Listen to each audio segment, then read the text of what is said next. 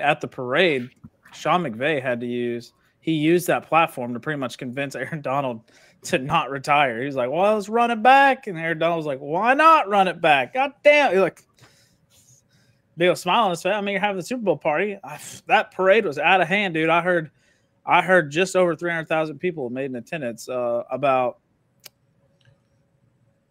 what was that? About four million less than Tampa Bay's turnout. So, I mean, and Tampa Bay yeah, is on I, the fucking water. They're just on the lake, and they had more people turn out. Twitter, I don't understand day with that shit. Maybe, maybe there's just too many uh, bums. There's too the many street. teams in LA. Oh, I mean that too. Yeah. It's like you don't need all these teams in California. Like move some teams around. Give Oklahoma a fucking football team here, would you? you can't talk to Californians, dude. They think they're fucking S tier.